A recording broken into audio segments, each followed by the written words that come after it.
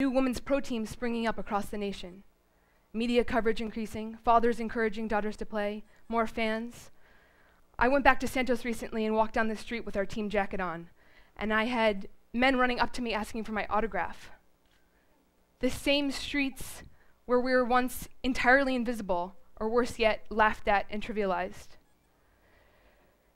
It appears as though women's entrance into this historically male space has started to dislodge gender stereotypes, and we see signs of progress. But when we look more closely, we see something else occurring. As women are being accepted into this space, they're also being expected to take on a new image, or rather, a traditional image of femininity. I reconnected with a lot of my old teammates recently and was surprised to see that the entire team had grown their hair long, even Fabiana, who always had short hair. And I turned and I said, What happened?